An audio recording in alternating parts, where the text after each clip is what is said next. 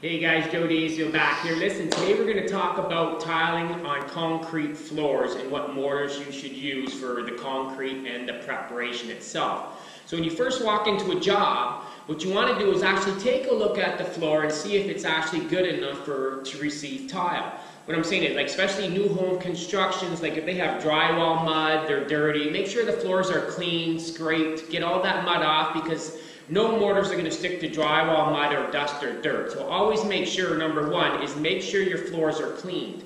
And then second, if there's any paint whatsoever on a concrete floor, the paint must come off because the mortars just won't stick to the paint on concrete floors. For some reason, it just don't work. Your, your tile might last a week, then they're going to start popping, so you're going to blow and spend a lot of money that's going to be wasted if you don't get that paint on.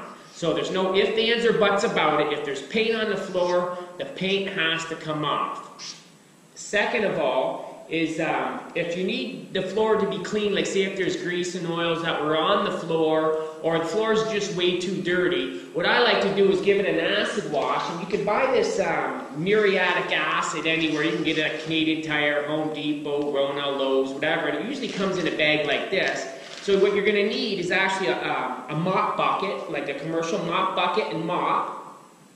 Fill it up with water and put this jug in, just enough, because when you're mopping the floor, you don't want to wring the mop out. You just stick the mop into the bucket, pull it out, and let the water go all over the floor, and you wash your floor like, like so. And then make sure that you're going to see the acid in there. It's going to bubble a little bit, and that's great. That's what you want to see. That means the acid's actually doing its job. And then when you get the floor all wet, then you can go ahead and proceed and then start mopping up the floor, wringing the mop out, getting that acid off the floor. And then after that, you want to do two washes of just basically clean water. So clean it once, clean it again, and you should be ready to go for tile and you have a good bond with your mortar to the concrete floor.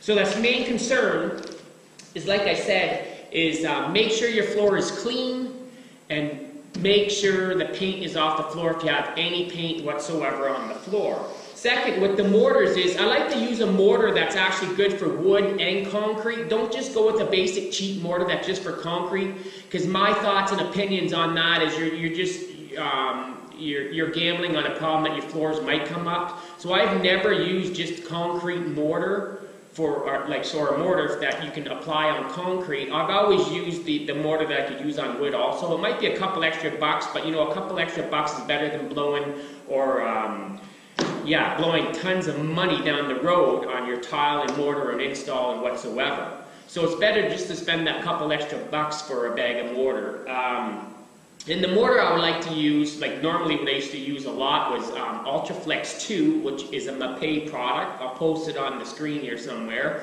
And there's an Ardex X5 product, which is a really good product. I always liked using because I could use it on walls and floors, wood or concrete.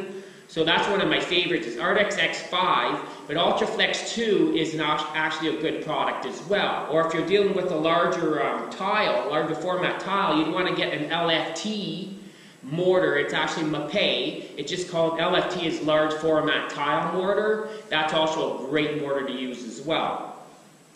Other than that, and if you do have any cracks in your concrete floor, I would suggest just using the HPG product. It's probably one of the cheaper brands that you can get just by covering, so you don't have to do the whole floor, just get where the cracks are. And always remember, like, see this I believe is a 12 inch um, mesh. It's a fiberglass mesh.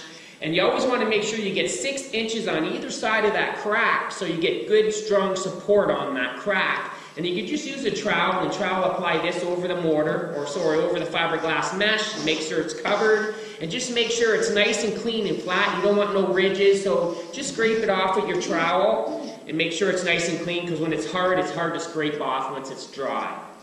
So other than that, that's pretty good. That's much. That's what I'd like to say about concrete floors. And like I said, you can go with an Ultraflex 2 mortar from Mapei or an Ardex X5. It's a great mortar, and that's actually from Ardex itself. Thanks for watching. Hope this was helpful to you, and move, you can move on to the next video. See you later.